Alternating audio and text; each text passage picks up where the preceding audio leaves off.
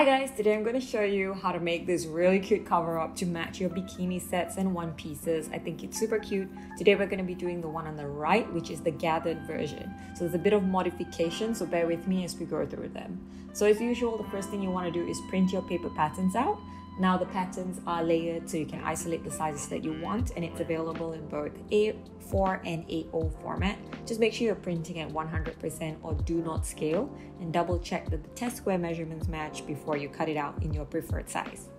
Now, if you're doing the one in A4, please note that for this pattern, because it's asymmetrical, you're gonna have to mirror it to form a full pattern. So after you've matched all the half hearts to join the pieces together, mirror it so you have that full pattern so that we can do the modification.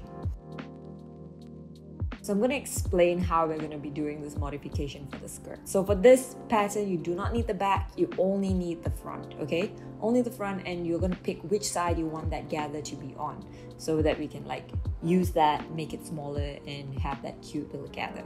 So I'm going to explain what we're going to do. We're just going to add on that side that you want the gather to be one centimeter of seam allowance. So you're only going to add one centimeter to one side.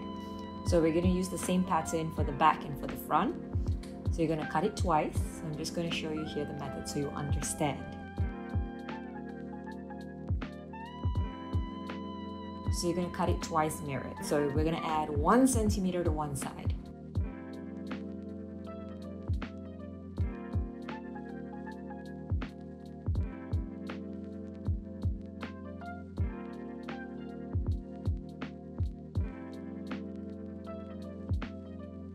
Going to use that seam allowance to create strap channels.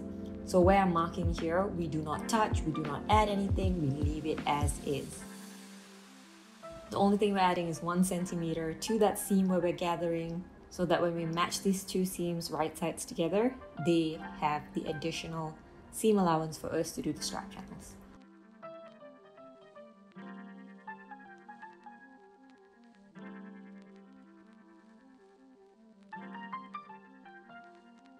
So it looked like something like this. Now you can get cutting in whatever fabric that you want. Lurex would be great. I, am using just the matching swim fabric because I thought it was cute. And you're also going to need elastic and whatever string or thread that you want to use to do the gathers later on. So now we can get stitching. So the first thing we're going to do is finish the hem and the waistband. So you can do this in whatever way your design is. You can just overlock it with elastic and leave it as that. You can, after you put the elastic, you can fold it over and do a zigzag or you can do a cover lock stitch. It really depends on your design. So you're just gonna do the elastic for the top and for the bottom part. And where that seam allowance is, where the additional seam allowance we've added, we're just gonna overlock that seam by itself.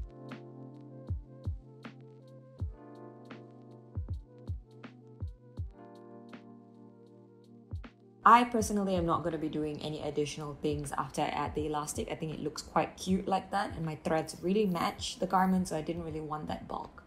When that's done, we're going to do a one and a half centimeter stitch along that side seam where we did the extension, making sure to back tack on the edges. When you have that, this is how it's going to look and now you can open it, make sure it lays flat and then we're just to stitch right on the edge of that seam allowance so that we can create like little channels to let it thread through our string or our elastic to be able to do the gathers.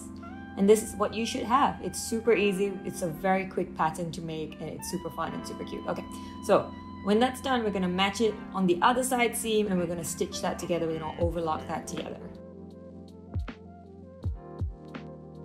Now all you have to do is loop through your ties. I'm using a piece of ribbon here because I thought it looked really cute, but you can use whatever that is good for your design. You can use the same swim fabric, you can make like straps like you do for your normal swimwear.